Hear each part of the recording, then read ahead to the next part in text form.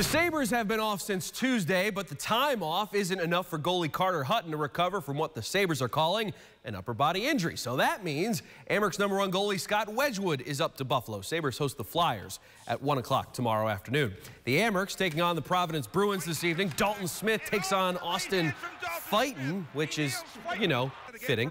Amerks haven't beaten the Little Bees since 2009. Justin Bailey trying to stop that skid. Pokes home a power play goal in the first period. 1-0 Amerks.